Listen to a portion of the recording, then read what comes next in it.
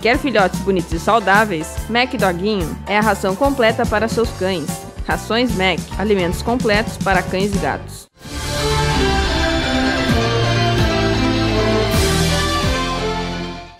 Uh, Nele, como é que foi feito essa, esses artesanatos que estão aqui? Isso aqui foi feito curso? Como é que foi para chegar a esse ponto aqui? Boa tarde, Ronaldo. Uh, o mercado público tem se preocupado muito em uh, atender a comunidade nessa parte de fazer alguma coisa que, que possa envolver a comunidade. Então, o que, que nós temos, uh, que tem acontecido? Tem algumas pessoas uh, de TAPES que têm muita habilidade, sabem fazer muitas coisas e vêm aqui, conversa conosco e diz que gostariam de vir aqui, é, até por problema é, é, uma coisa assim, ó, às vezes estão muito sós. Aí o que que acontece? O, o mercado público se disponibilizou espaço nas quartas-feiras à tarde, já que nós viemos trabalhar na parte da manhã, a quarta-feira de tarde nós ficamos aqui. Então essas pessoas que têm essas habilidades vêm aqui, ministram o curso eh, voluntariamente daquilo que elas sabem fazer. Então, isso eh, já faz três anos que nós estamos envolvidos e esse ano nós resolvemos fazer essa pequena amostra do que a gente uh, tem feito. Esse ano nós tivemos cursos de porongo, de crochê, de palha de, de, de milho, de palha de butiá, tivemos de, de bonecas, de, uh, tivemos de Papai Noel. Uh, de bordado, e são esses trabalhos que estão hoje expostos aqui. Uh, além dessas pessoas da comunidade, também uh, o pessoal da feira, os artesãos que participam aqui na feira, uh, também se disponibilizam a fazer esse, esse, esse ensinar essa, isso que aprenderam. Então tem sido uma tem sido uma convivência na parte da tarde, nas quarta-feira, muito muito prazerosa porque o pessoal chega eh, vem, sentam, conversam, bate-papo, trocam conhecimento e, e se conhecem, se tornam amigos. Então tem sido, é uma confraternização que se faz todas as quartas-feiras no decorrer do ano e estamos encerrando na data de hoje o, o ano de 2018.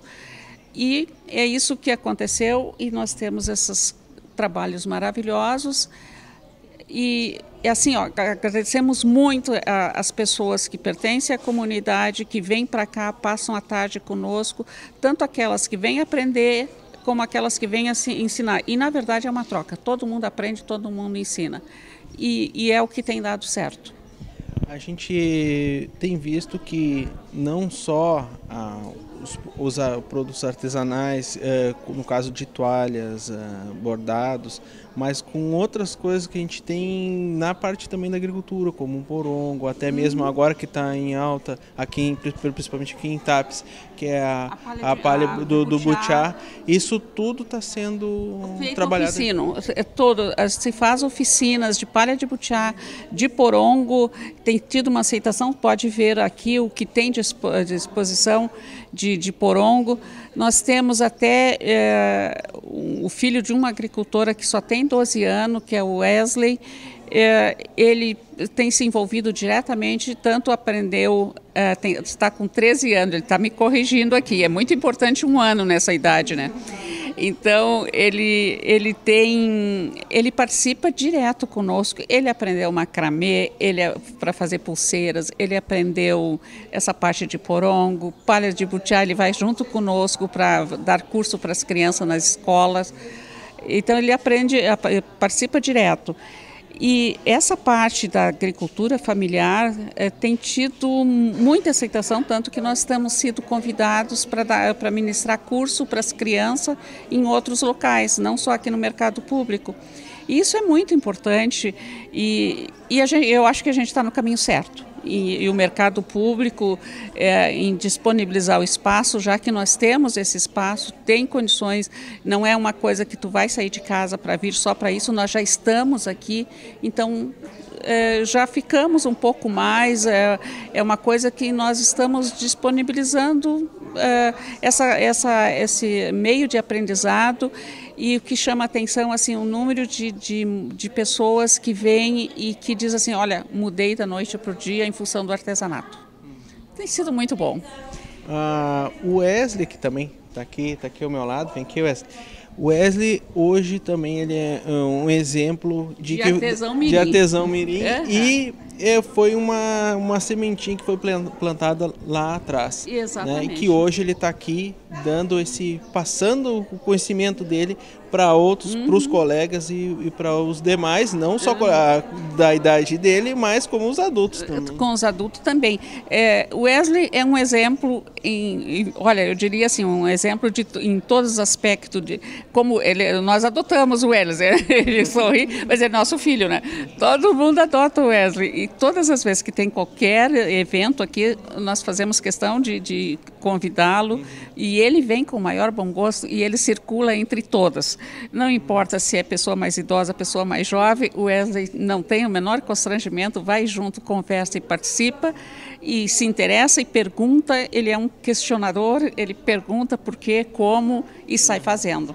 Então é algo maravilhoso ter um, uma criança ou adolescente junto conosco, que isso aí é muito importante e ele é, passa para os demais com a maior tranquilidade. tranquilidade. E eu vou conversar aqui então também um pouquinho com o Wesley. Wesley, como é que foi, de onde é que surgiu essa esse, esse querer aprender a fazer esses artesanatos?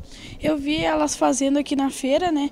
E aí eu achei legal e comecei a me entusiasmar e comecei a aprender. Vim nos cursos, dando curso. Toda vez que eu dava o curso, outras pessoas davam curso também. Eu ensinava outras coisas, também aprendia. Como tanto, tanto como eu dava o curso, eu também aprendia no curso. Uma coisa muito importante que eu quero dizer, que ele já ganha o troquinho dele, um dinheirinho aí que compra as coisas de primeira necessidade dele, que é importante para ele, ele já consegue comprar com dinheiro de artesanato. Esses vasos que ele olhou na televisão, um, um negócio de vaso de cimento, ele trouxe, foi um sucesso aqui na feira, os trabalhos dele que ele vendeu conversar então aqui agora com uma das pessoas que passou esse conhecimento aqui para os demais. Como é que foi o trabalho aqui com esse pessoal?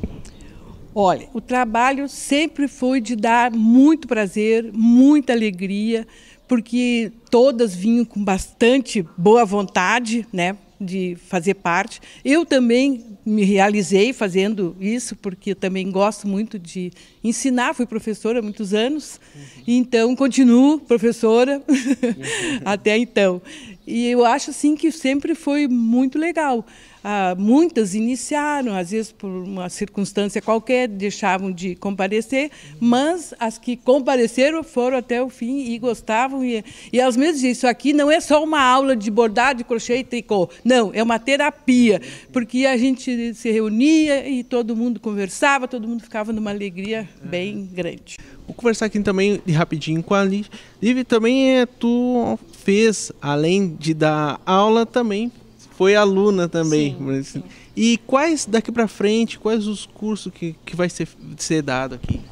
Olha, vai, vai ser assim mais do que o pessoal queira aprender, né? Porque, mas a gente dá de, de crochê, tricô, uh, frivolité. Uh, nesses todos esses trabalhos agora que estão sendo mostrados aqui para o pessoal aqui, uh, tem um, algum bordado que é mais complicado, que a pessoa já tem que ter um pouquinho já de conhecimento? Eu acho que, que ensina todo, né? Assim, né? não, não tem quem não ou mais saiba mais, sabe alguma coisa, não sabe nada, a pessoa sai aprendendo, sai fazendo. É, então, se é aquela pessoa que, por exemplo, eu venho aqui que eu não entendo nada, não, sai, sai daqui fazendo alguma coisa. Sai, sai, sempre sai.